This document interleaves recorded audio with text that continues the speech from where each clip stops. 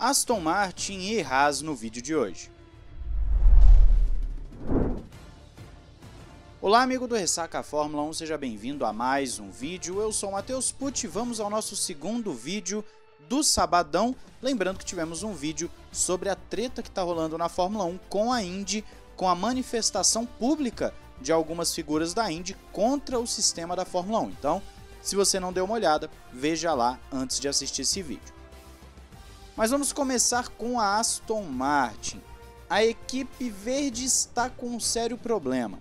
Um carro de 2021 que já era ruim ficou ainda pior em 2022 e no final das contas a pressão tá alta. O Mike Crack falou publicamente que precisam considerar que houve uma mudança significativa no regulamento e diferentes direções foram tomadas por todas as equipes perceberam depois de algumas corridas que não podiam ir mais longe na direção que tinham escolhido, embora fosse muito promissor em termos de desempenho, mas não podiam correr riscos por causa dos problemas que estavam tendo. Tiveram que mudar conceitos e isso os atrasou bastante. É um cenário decepcionante, explicável e no próximo ano as regras ficarão mais consistentes, o que deve ajudar. Ainda assim, Crack afirma que eles precisam entregar porque não tinham um bom carro no ano passado e continuam não tendo em 2022. Ele ainda cita que o dono da equipe, Lawrence Stroll, fez investimentos e gostaria que o sucesso viesse mais rápido e que ele está sendo muito paciente.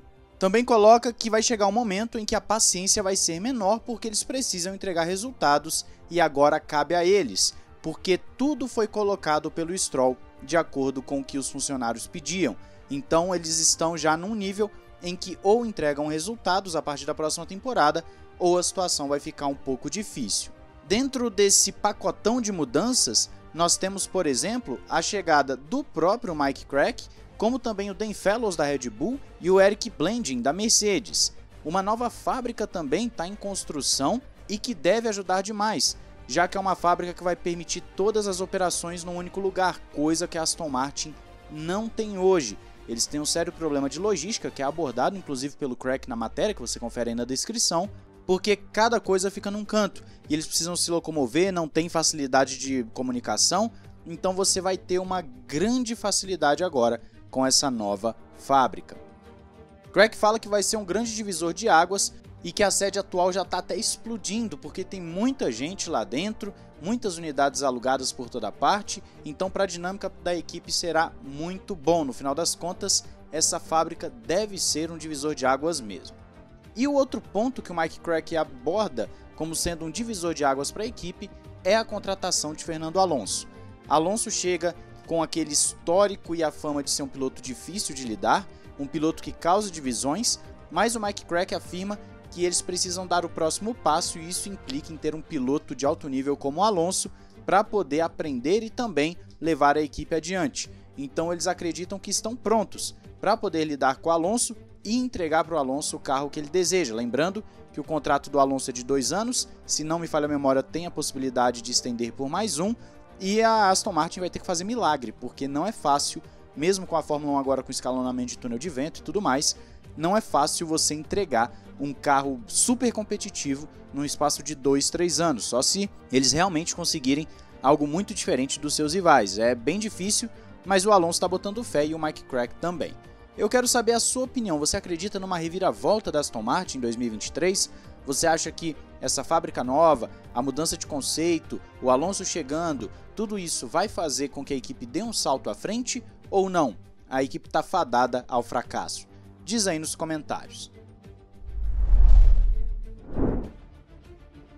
Agora nós vamos para uma notícia que pode revelar uma certa bomba no paddock.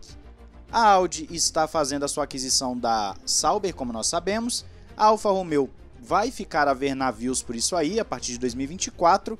Só que de acordo com o Joe Swart, que é um jornalista muito conceituado, a Alfa Romeo já estaria batendo na porta da Haas, oferecendo à equipe americana o mesmo esquema que ela faz com a Sauber. Só que Existe também uma conversa muito forte, ainda de acordo com o Joe Saward, que a Haas já tem engatilhado um acordo com uma grande corporação americana que financiará a equipe pelo menos nas próximas três temporadas e talvez até além disso.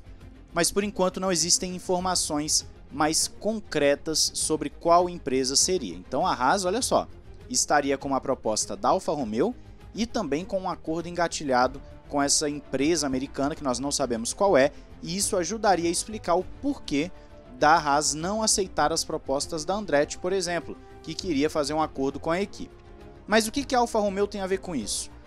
A controladora da Alfa Romeo, que é a Stellantis, tem muitos acionistas em comum com a Ferrari, inclusive o presidente da Ferrari é o mesmo da Stellantis, que é o John Elkann.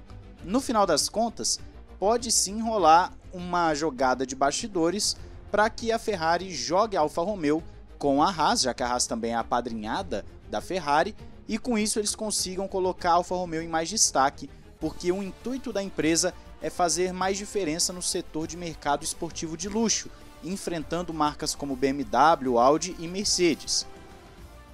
Um programa na Fórmula 1 que tenha mais sucesso do que simplesmente ser uma equipe de meio de pelotão, mas tendo mais liberdade, tendo uma estrutura e tudo mais, pode fazer a Alfa Romeo ir além. Nós não sabemos quais são as limitações do acordo da Alfa com a Sauber, quanto de dinheiro é colocado, o tanto que o carro pode evoluir. A Sauber tem instalações muito boas, inclusive muitas consideradas as melhores da Fórmula 1, no top ali, entre as grandes.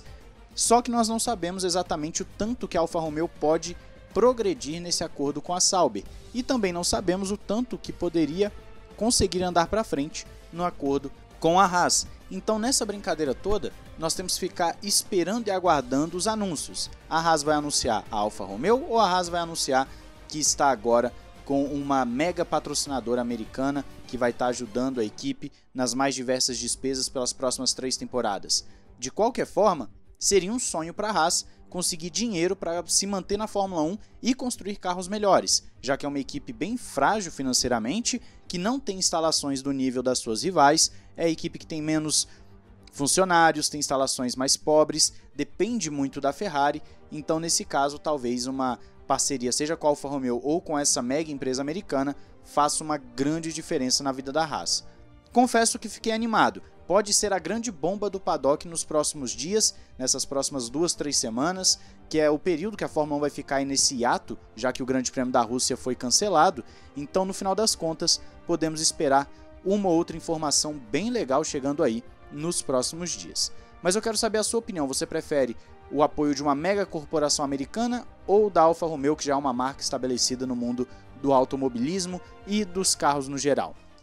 Diz aí, não esqueça de se inscrever e ativar o sininho para não perder nada. Um grande abraço, valeu e falou!